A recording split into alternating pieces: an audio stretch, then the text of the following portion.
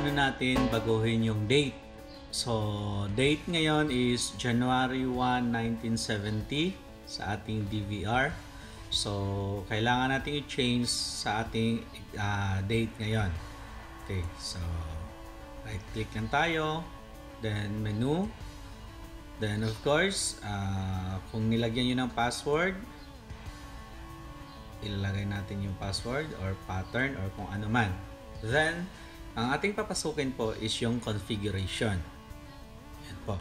Then, dito sa portion na to, mayroon tayo ditong system date. So, click lang po natin.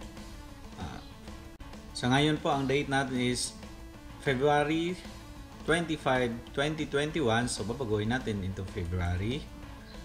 Tapos, click lang natin hanggang makarating tayo sa 2021 and the date is 25 then ang time naman po.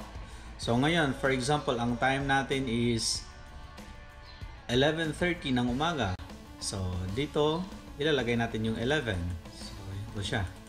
So 24 hours format. So hanapin natin yung mismong 11 then 30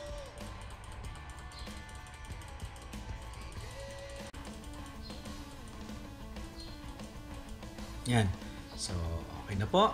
Then, uh, other configurations, if for example sa language, so dito natin yan makikita. Then, sa atin namang resolution ng ating uh, DVR. Dapat kasi compatible to siya sa ating monitor. So, ito po siya yung resolution na nakaset sa ating DVR. Okay, so pag okay na po lahat, so i-apply natin. Apply para mag-take effect yung ating ah, pinalitan. Okay, so exit tayo. Then kung tingnan po natin dito ngayon, so February 25, 2021, Thursday, 11.30 a.m. So, ayan po siya yung pagbago ng date.